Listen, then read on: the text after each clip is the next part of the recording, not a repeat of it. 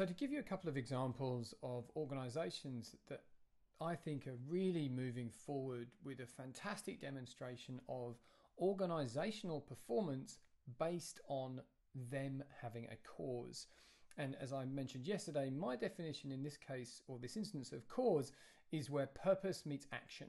So you have a clearly defined organizational purpose, and as you apply action to it, now you have a cause. So, despite the fact that you know, I typically work and our organization typically works with corporates. The two organizations I'm going to mention today are both not for profits, but both those not for profits have very strong synergies and similarities to corporate entities. So one is Paul Dunn's Better, well, it's not a better, should be. Paul, let's talk. B1G1. Buy one, give one.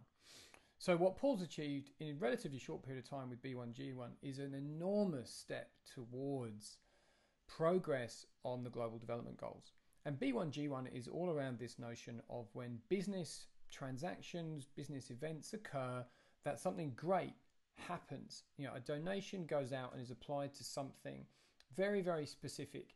And essentially, they tie all back to this clear, you know, sort of values driven message that as a B1G1 customer, which we are, which 4i is, you know, you can say to your team, you can say to your customers, you can even say to your suppliers if you so wish, you know, when we do something, something else which is far more valuable in many ways happens. Know, so we send a, you know, sort of a, a, a prop to a customer, you know, somebody in a different part of the world, you know, gets a day's education you know, or we get an invoice paid, someone else in the world gets a week's clean water, that kind of thing.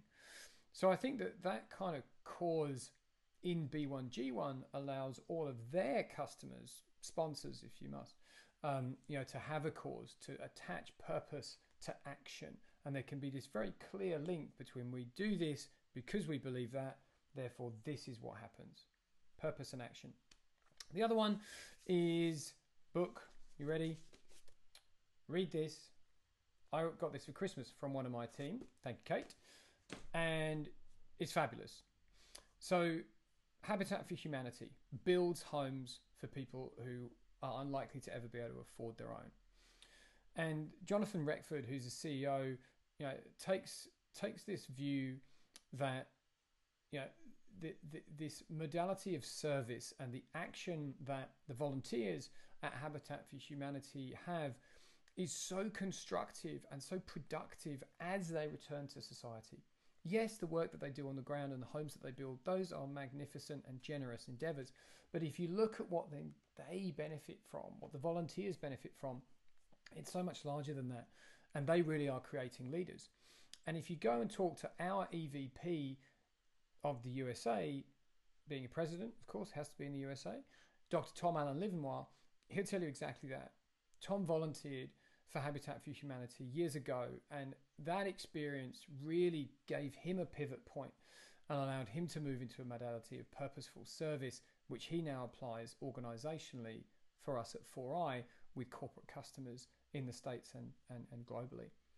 So I, I hope that makes sense that even though I'm talking about not for profits, this is absolutely something that many successful businesses are moving towards this notion that if they have a purpose that's bigger and better than them, they're going to outperform. And I'll leave you with this thought.